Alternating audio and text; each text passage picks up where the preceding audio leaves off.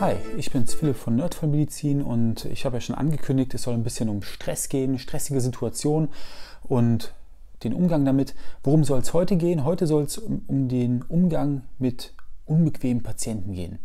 Das heißt, wie arbeite ich solche Patienten ab, die mir einfach unsympathisch sind, die mich durchgehend aggressiv angehen, die sich immer nur beschweren.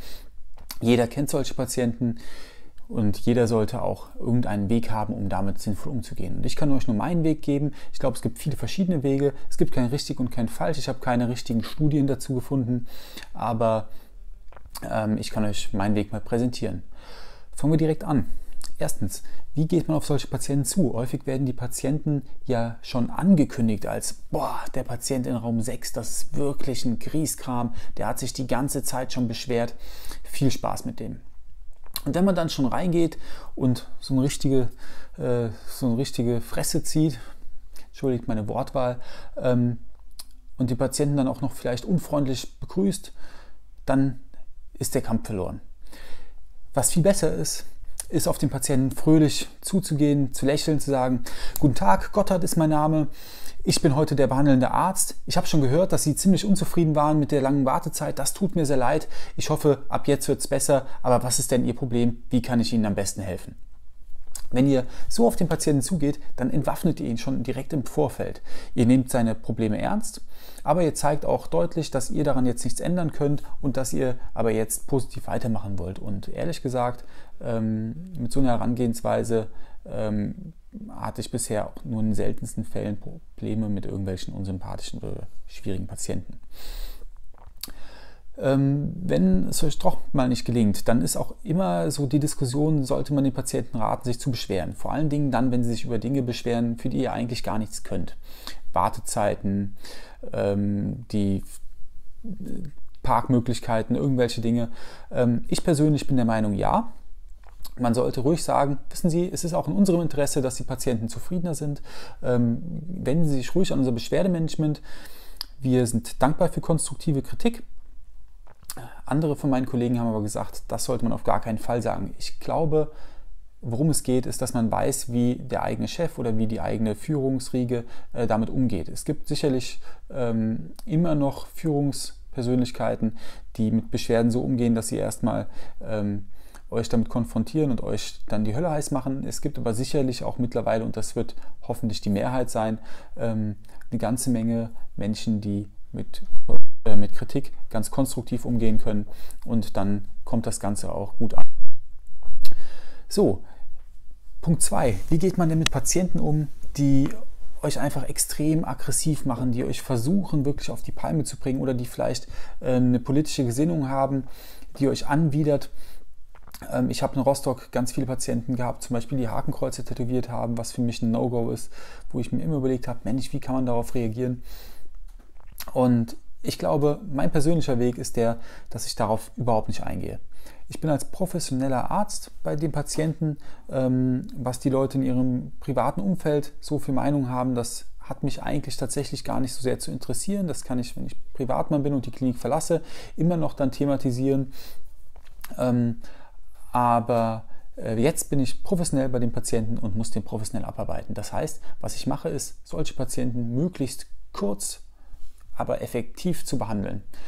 Sprich, wenn der Patient pöbelt, euch beleidigt, sagt, Mensch, ich habe keinen Bock mit dir zu reden, du Akademiker oder wie auch immer, äh, was man da so hören könnte, ähm, dann sagt man, darf ich Sie kurz unterbrechen? Ähm, Ihrem Frust zum Trotz, aber ich möchte ganz kurz versuchen herauszufinden, was ihnen eigentlich fehlt. Mir geht es darum, ihnen zu helfen. Ich möchte möglichst schnell ihr Problem lösen, damit es ihnen wieder besser geht.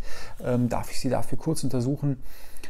Und dann arbeitet man einfach seine tägliche Routine schnell ab, ist versuch, versucht effektiv dem Patienten zu helfen und ihn dann auch wieder zu entlassen. Das ist ja das Tolle in der Notfallmedizin und im Rettungsdienst nach dem Transport oder nach der Versorgung ist der Patient ähm, nicht mehr bei euch, nicht mehr euer Problem, wo ihr aber darauf acht geben müsst, ist, dass ihr euch von solchen aggressiven Patienten nicht dazu verleiten lasst, eine schlechte medizinische Versorgung dann diesem Patienten ähm, zu geben.